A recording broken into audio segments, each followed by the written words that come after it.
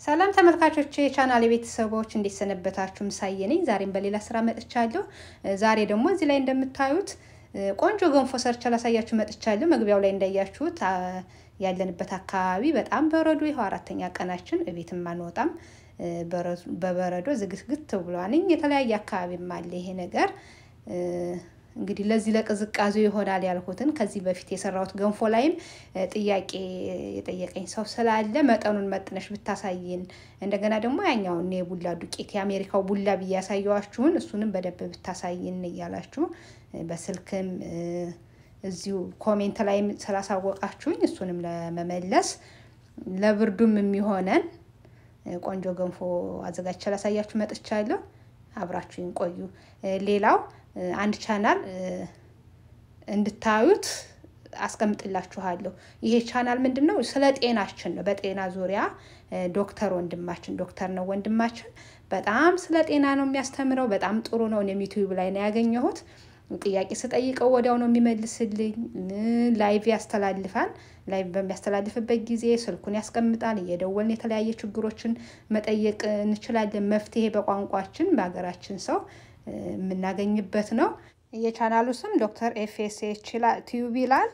subscribe እያደረጋችሁ የተለያዩ ስራዎችን እዛው ላይ ተከታተሉ። ዶክተር ያው ስሙን እዛው ላይ ስለሚጠቅሰው ዶክተር ፈቃደ ስላሴ ሄኖክ የሚባል ወንድማችን ነው። እዩት፣ ትጠቀሙበታላችሁ።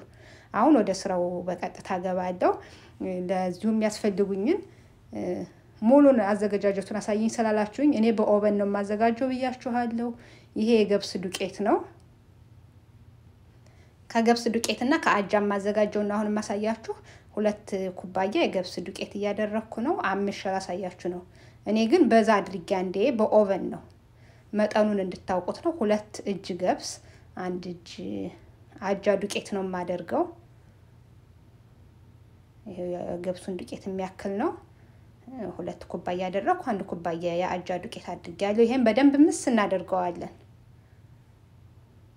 oven ውስጥ ሲቆይ ለሶስት ለአራት ሰዓት ነው የማቆየው በሁለት መቶ ሀምሳ ላይ ሰዓቱን ቅንስ አድርጌ ከዚህ በኋላ እንዲህ በደንብ ካመስነው በኋላ ለአስራ አምስት ለሀያ ደቂቃ መታመስ አለበት በመካከለኛ ሙቀት። ከዛም በላይ እስከ ሰላሳ ደቂቃን ብናምሰው ቆንጆ ነው። እንነፋዋለን። ያው የምንፈልገውን ያክል መጠን እንዳልኳችሁ በ oven ብታዘጋጁት ይመረጣል። አንዴ በዛ አድርጋችሁ ገብሱንም የአጃውን ዱቄትም አንዴ ገዝታችሁ መጠኑን አመጣጥናችሁ ሁለት እጅ ገብስ አንድ እጅ የአጃ ዱቄት ነው። እሱን አድርጋችሁ በ oven ማድረግ ትችላላችሁ እንደ ዱቄታችሁ መጠን። ከዚህ በኋላ እንደዚህ ነፋሁት። ውሃ የማደርገው ድስቱ ላይ የማደርገው አንድ ኩባያ ይሄ ግማሽ cup ነው። አንዱ ሙሉ cup እንትን ስለያዘ ነው ዱቄት ስለለካሁበት ይሄኛውን ውሃ ከማስነካት ብዬ ነው። ይሄኛው ነው ዱቄቱ፣ የቡላው ዱቄት ያልኳችሁ፣ የአሜሪካው ቡላ ያልኳችሁ። እኔ ከቡላ ጋር ስለተመሳሰለ ትክክለኛው የኛው ሀገር ቡላ ይሁን አይሁን እርግጠኛ አይደለሁም፣ ግን ያው ለምግብነት የተዘጋጀ ነው። በጣም ቆንጆ ነው። በጣም ምንም ከቡላ የተለየ ነገር የለውም። ሞክሩት ሁላችሁም። ያው የምፈልገውን ያክል እንደዚህ አድርጌ ለክቼ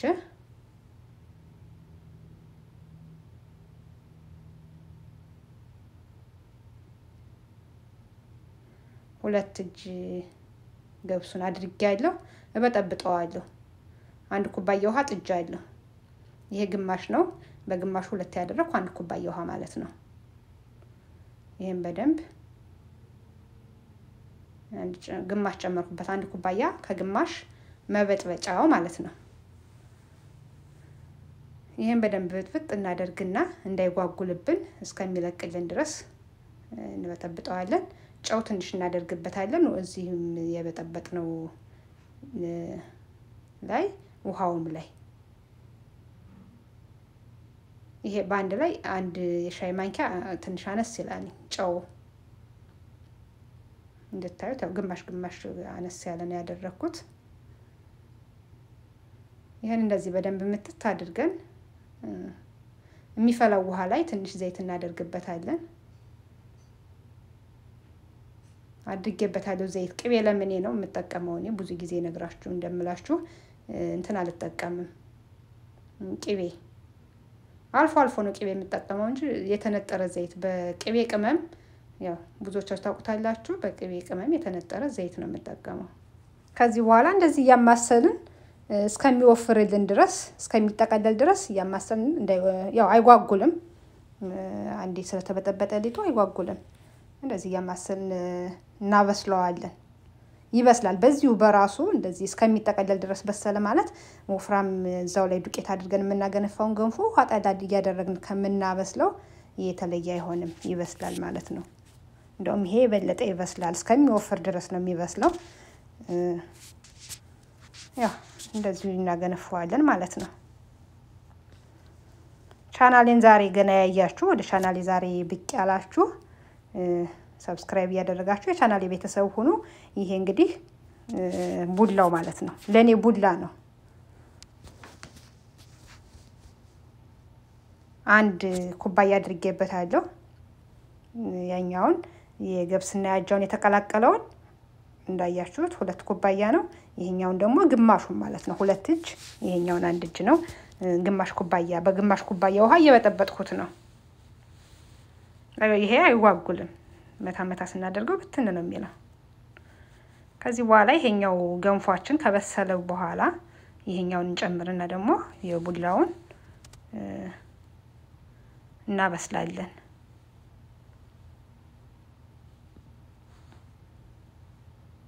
ይኸው እንደምታዩ በግማሽ ኩባያ ውሃ ነው የበጠበጥኩት። ያስገባኋቸውን የጨመርኩትን እጽፍላችኋለሁ። description box ላይ እጽፈዋለሁ። ይህን እንግዲህ እኛውን እስከሚጠቀለልልን ድረስ እያማሰልን እናበስላለን። ስራዬን share ለምታረጉልኝ፣ ለምታበረታቱኝ፣ ለምታዩልኝ ተመልካቾች ከልብ አመሰግናለሁ። አሁንም ይህን ስራ ከወደዳችሁት like፣ comment፣ share ማድረጋችሁን አትርሱ። አዲስ የሆናችሁ subscribe እያደረጋችሁ የቻናል የቤተሰብ ሁኑ። ያው እንዳልኳችሁ የዶክተር FSH ን Tube ም አስቀምጥላችኋለሁ link ኡን እዩት። እኔም share ያደረግኳቸው ቪዲዮዎች አሉ። ዛሬ ራሱ share ያደረግኩት አለ፣ እሱንም እዩት። ቻናሉንም subscribe አድርጋችሁ ቤተሰቡ ሁኑ። ወንድማችን የሙያ ግዴታውን እየተወጣ ነው። እኔ ደግሞ የህሊና ግዴታዬን ልወጣ ሄዳችሁ ብታዩት ለእሱ ሳይሆን ለራሳችሁ ነው የምትጠቀሙት። ስለወደድኩን ነው ቻናሉን እየነገርኳቸው ያለሁት። እቃዬን አዘጋጅቻለሁ። ገንፎዬም እየበሰለ ነው። ቅቤ ለምኔን አደርግበትና ያው ሳህኑን እንዲለቅ እንዲለቀቅ እንዲያደርግ ቀባ ቀባ አደርገዋለሁ ዙሪያውን። ቅቤ ለምኔ ቅቤ ለምኔ የሚል ቪዲዮ አለ የሰራሁት፣ እሱን ማየት ትችላላችሁ። የወይራ ዘይት olive oil ለቅቤ ማንጠሪያ የምንጠቀመውን ቅመም ተጠቅሜ ያነጠርኩት ነው። እንዴት እንዳነጠርኩት እዩት። ማንጠር ሲባል ያው እሳት ላይ ጥዶ ማንተክተክ ምናምን አይደለም፣ እንደ ቅቤ የቪዲዮውን እዩት።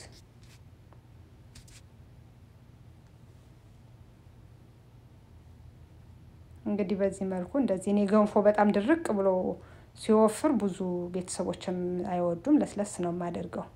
እናንተ እንደምትፈልጉት ወፈር እንዲል ከፈለጋችሁም በደንብ ከዚህ በላይ እስከሚወፍር ማቆየት ትችላላችሁ።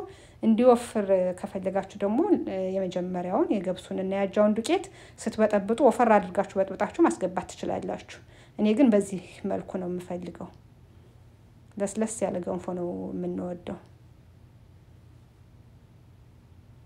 ይሄው እንግዲህ ሳህኑ ላይም እንደምታዩት ለቀቅ ለቀቅ እያደረገ ነው። ሻይ ጥጃ አለው። ገንፎ ተበልቶ ትኩስ ነገር የነበርንበትንም እንግዲህ መግቢያው ላይ አይታችሁታን በረዶ ቅዝቃዜውን።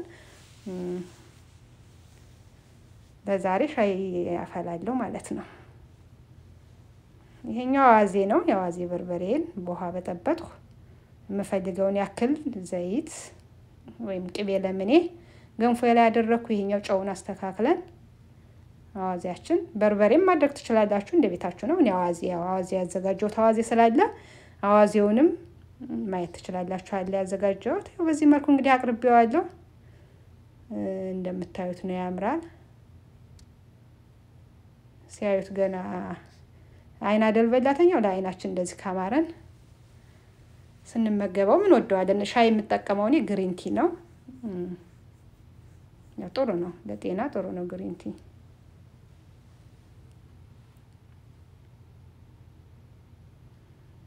ውሃዬ ላይ ትንሽ ጦስኝ አድርጌ በስሏል። ጦስኙ ፈልቷል እዛው ላይ የሻይ ቅመም መጠቀም ትችላላችሁ። ጦስኝ ልቅመሰውና እንግዲህ ያለውን ነገር ልንገራችሁ። ያው ቆንጆ ነው። የዛሬው ስራ እንግዲህ ይህን ይመስላል። በሌላ ቪዲዮ እስከምንገናኝ ሀገራችን ኢትዮጵያን ሰላም ያድርግልን፣ ህዝባችን ይጠብቅልን፣ እኛንም በያለንበት የእግዚአብሔር ጥበቃ አይለየን። በጣም ቆንጆ ነው፣ ቆንጆ ነው። ያው ሰርታችሁ ሞክሩት። ይህን እንግዲህ ለቤተሰቦች ላቀርብ ነው። እኔ ቀምሻ አሳይቻችኋለሁ። ሻይንም እጠጣለሁ። በሌላ ስራ እስከምንገናኝ ድረስ ከወደዳችሁት like ማድረጋችሁን አትርሱ። የተቻለ ቻናል አዲስ ሆናችሁ subscribe እያደረጋችሁ ቤተሰብ ሁኑ። በሌላ ቪዲዮ እስከምንገናኝ ድረስ መልካም ጊዜ፣ ሰላም ሁኑልኝ።